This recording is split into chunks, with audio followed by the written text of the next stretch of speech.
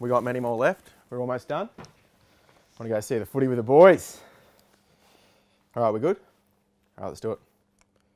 Welcome back to Survivor Auditions. What an absolute treat our next guest is.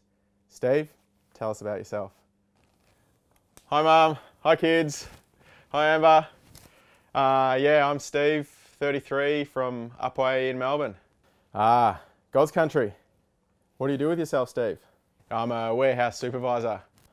Thrilling. Why should you be on Survivor? I need a change, man. Warehouse work's a drag. Boxes, computer work all day, paperwork.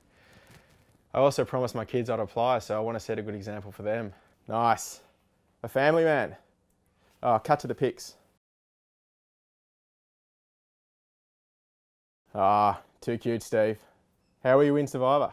Well, as I've already said, I'm hilarious, so I'll make the camp laugh their butts off. I'll boost morale. People will be pretty down and out hungry out there.